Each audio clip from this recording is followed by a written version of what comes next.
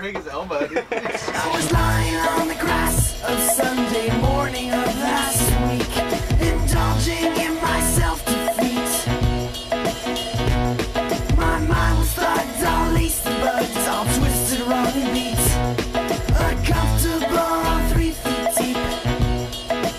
We're out here in Port Angeles, Washington for the second race of the national season.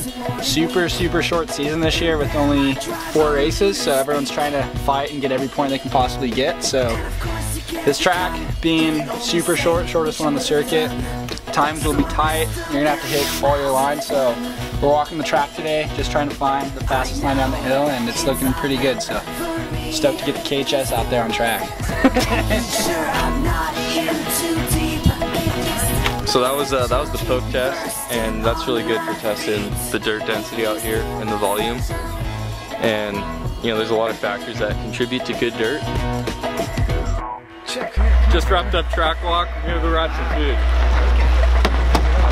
Man, I've never seen Sharon look so bad before. I did once before, but this is pretty bad. We're cooking bacon out here in the KHS house. Um, bacon, eggs. We're gonna get some mushrooms in the pan later. Get the get the boys filled up for a day of seating.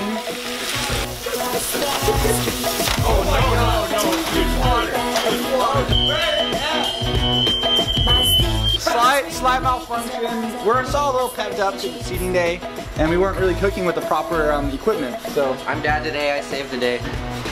Now the funny, clever, penny, tearing, staring underneath. In the eat like a champion, be a beer champion.